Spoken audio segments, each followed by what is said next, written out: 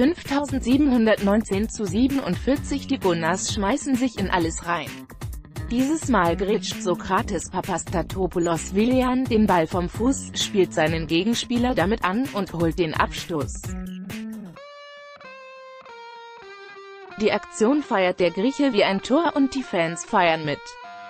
5619 zu 45 Arsenal ist es in dieser Saison nur dreimal gelungen hinten die Null zu halten. Heute machen sie defensiv aber ein super Spiel und könnten mit ein bisschen Glück das vierte Mal die Null halten. 5319 zu 43 Willian zieht von rechts im Strafraum minimal in die Mitte und probiert es mit einem Schlenzer, wie letzte Woche gegen Newcastle.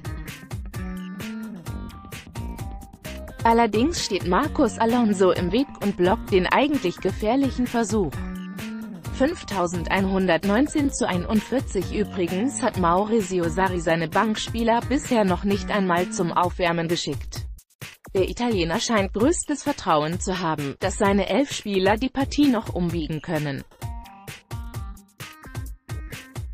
4919 zu 39 Man sieht den Gästen klar an, dass sie das Ergebnis wettmachen wollen. Allerdings geht es immer wieder über die Flügel und dann hoch in die Mitte.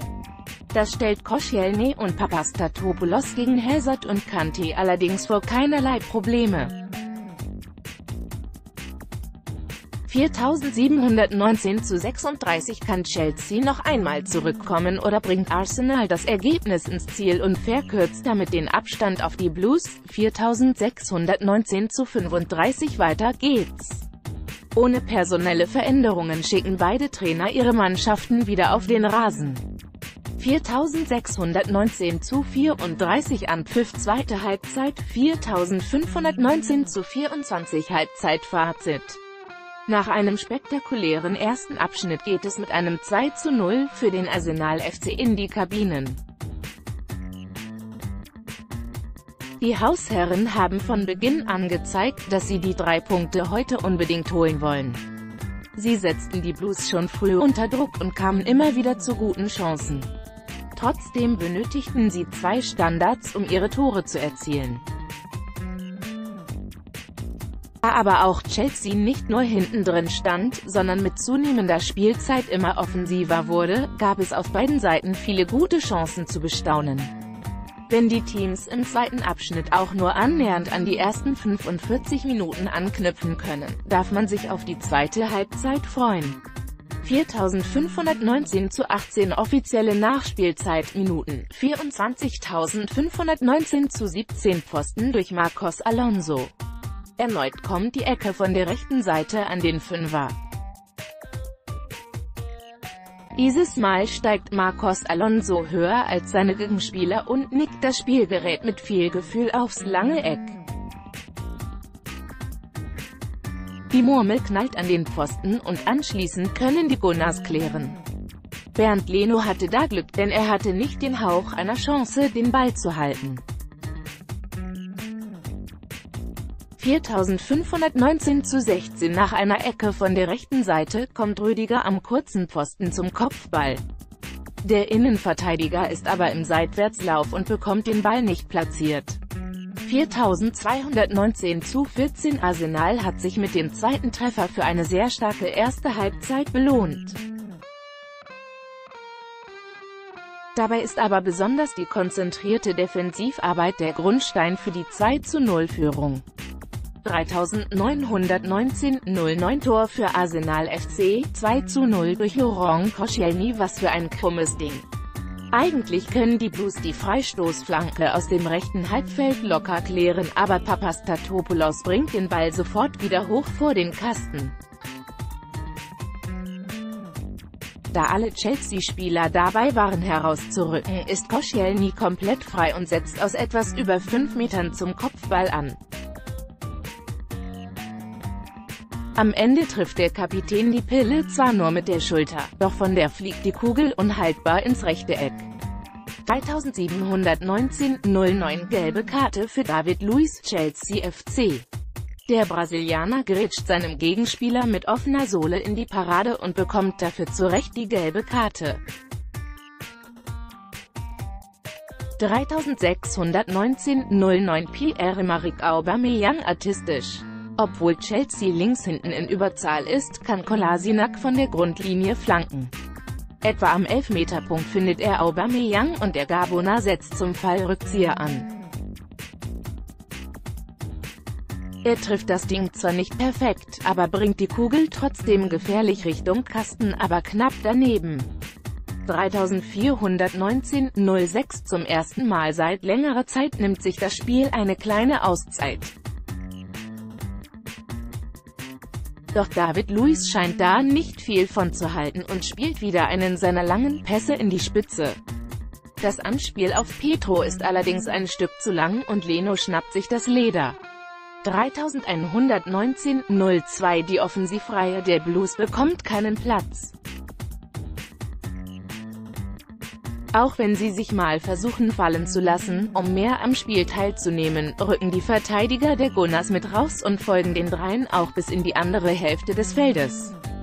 Besonders Eden Azar hat dabei eine Extra-Bewachung. 2919-01 Nächster Abschluss der Gastgeber. Nach einem frühen Ballgewinn hat Aaron Ramsey vor der gegnerischen Box viel Platz und schließt aus über 20 Metern ab. Sein Schuss ist allerdings relativ zentral und Kepa ist zur Stelle. 2718 zu 59 guter Konter der Gunners, Lacazette erobert den Ball im eigenen 16er und dann geht es ganz schnell.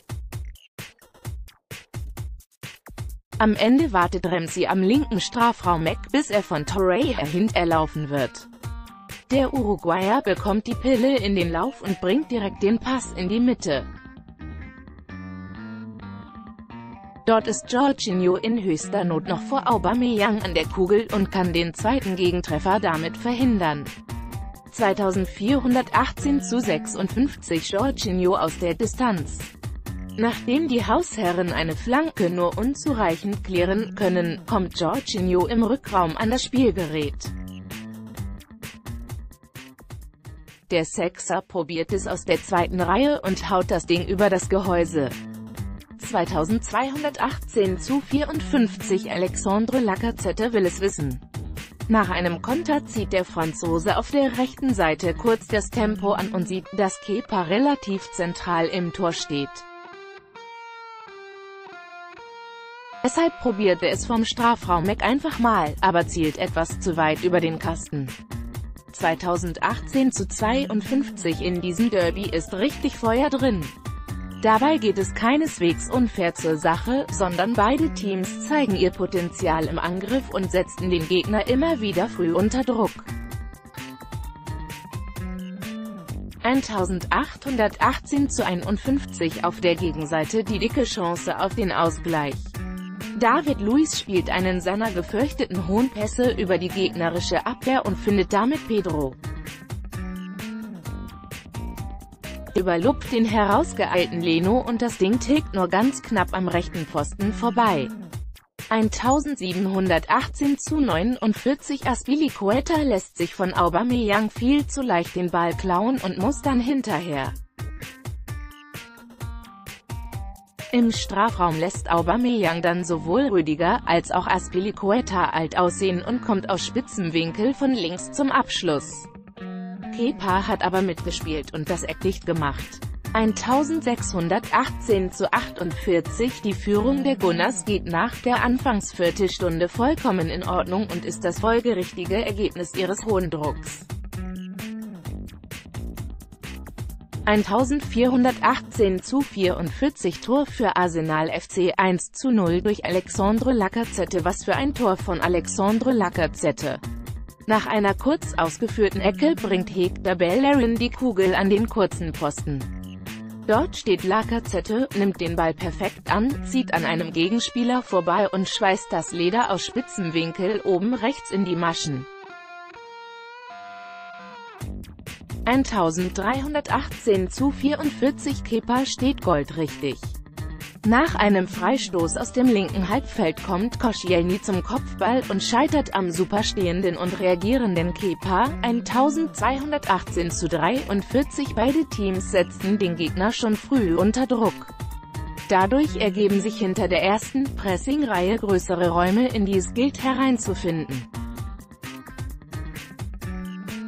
918 zu 41 Erstmals können sich auch die Blues in der gegnerischen Hälfte festsetzen und direkt kommen sie zum Abschluss.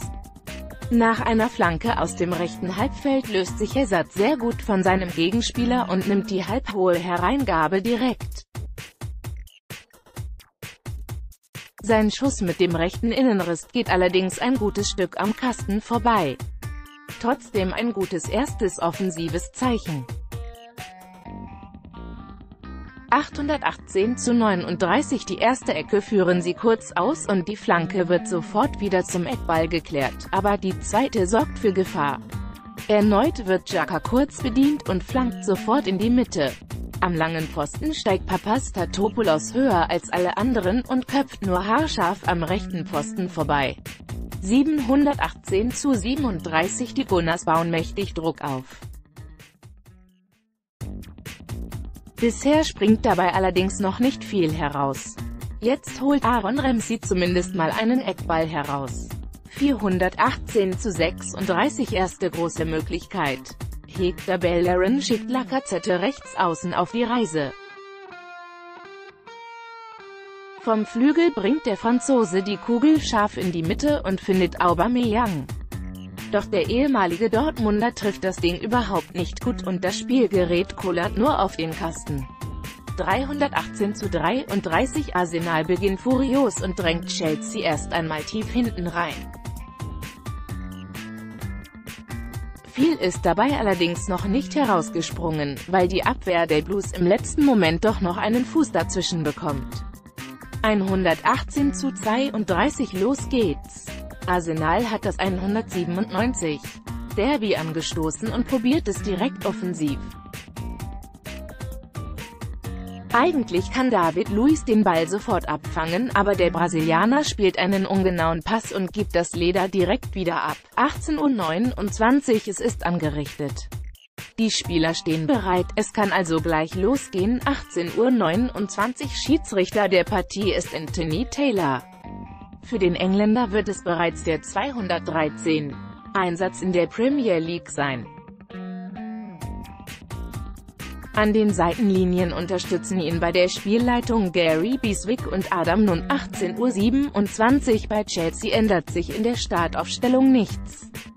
Damit ist Eden Hazard auch heute wieder der Mann vorne drin, der für Tore sorgen soll und nicht Olivier Giroud oder Morata. 18.26 Uhr Unai Emery ändert seine Startelf im Vergleich zur Niederlage gegen West Ham auf gleich drei Positionen. Hector Bellerin, Lucas Torreira und Aaron Ramsey rücken neu in die Anfangsformation. Dafür müssen Shkodran Mustafi, Ainslie Maitland Nilis und Alex Iwobi auf die Bank. 18.21 Uhr Eine Personalie hat im Vorfeld des London Derbys für ordentlich Furore gesorgt. Peter Zech, der heute erneut auf der Bank sitzt, wird im Sommer seine Karriere beenden. Damit wird ein ganz großer die Fußballbühne verlassen. Kein Premier League-Torhüter hat so oft zu Null gespielt wie der Tscheche. Nach 15 Jahren in der Premier League, in denen ich alle Titel gewonnen habe, die es zu gewinnen gibt, habe ich das Gefühl, alles erreicht zu haben, was ich erreichen wollte, begründete der Torhüter seine Entscheidung. 18.17 Uhr in Bezug zu Mesut Özil, der unter dem neuen Trainer noch keine allzu große Rolle gespielt hat, nahm Unai Emery im Vorfeld der Begegnung Stellung, ich denke darüber nach, wie er uns in diesem Jahr mit guten Auftritten helfen kann. Er hatte Verletzungen und war nicht in der Lage, alle Spiele zu machen, aber jetzt, nach diesen zwei Wochen wird er vielleicht am Samstag dazu in der Lage sein. Ausgehend von dieser Aussage ist der Bankplatz für den Deutschen natürlich wenig überraschend. 18.12 Uhr aber nicht nur die Form spricht für die Gäste. Auch im direkten Vergleich hatten die Westlondoner zuletzt klar die Nase vorne. Von den letzten 14 direkten Aufeinandertreffen konnten die Gunners nur eines für sich entscheiden. Der letzte Ligasieg Arsenals gegen Chelsea war am 24. September 2016. Damals konnten die Nordlondoner das Derby mit 3 zu 0 für sich entscheiden. Die Treffer erzielten Alexis Sanchez, Theo Walcott und Mesut Özil. Davon ist bekanntlich nur noch der Deutsche bei Arsenal. Der Zehner sitzt heute aber zunächst nur auf der Bank. 18.04 Uhr Chelsea wird es ihnen aber natürlich nicht leicht machen und zusätzlich motiviert sein. Im London Derby einen direkten Konkurrenten um die Champions League Plätze distanzieren zu können wäre natürlich eine Genugtuung. Die Blues dürfte die Sache auf jeden Fall mit einer Menge Selbstvertrauen angehen. Schließlich sind sie in der Liga seit vier Partien ungeschlagen.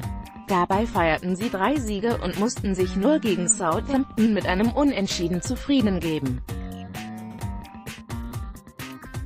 Am letzten Spieltag konnte die Mannschaft von Maurizio Sarri einen 2:1 Sieg gegen Newcastle bejubeln. Die Treffer erzielten dabei die schnellen Offensivspieler Willian und Pedro. 17.56 Uhr Doch die Form der Gunners war zuletzt alles andere als überzeugend. Zwar konnten sie sich schnell von der 1:5 Klatsche gegen Liverpool erholen und besiegten danach Fulham deutlich mit 4:1, aber das letzte Ligaspiel ging erneut verloren. Gegen West Ham mussten die Nordlondoner eine 0:1 Niederlage einstecken und haben damit ein wenig den Anschluss an Chelsea verloren.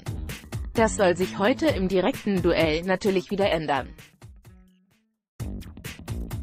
17.49 Uhr für Arsenal ist die Begegnung heute immens wichtig, wenn sie in der kommenden Saison in der Champions League spielen wollen.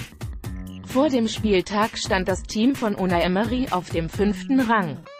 Der Abstand auf Platz 4, auf dem im Moment Chelsea steht, beträgt nur 6 Punkte. Mit einem Sieg im direkten Duell könnten die Gunners den Abstand auf drei Punkte verkürzen und den Druck auf den Londoner Rivalen deutlich erhöhen. Aber nicht nur für den Kampf um die Champions League brauchen sie Punkte, sondern auch um überhaupt einen internationalen Platz zu belegen. Denn Manchester United ist unter dem neuen Trainer wieder deutlich verbessert, liegt im Moment gegen Brighton. Um das zu verhindern ist ein Erfolg heute eigentlich schon Pflicht. 17.31 Uhr Hallo und herzlich willkommen zum 23. Spieltag der Premier League. Um 18.30 Uhr kommt es dabei heute zu einem richtigen Topspiel. Schließlich empfängt der Arsenal FC den Chelsea FC zum London Derby. Doch nicht nur das, es ist auch ein direktes Duell um die Champions League Plätze.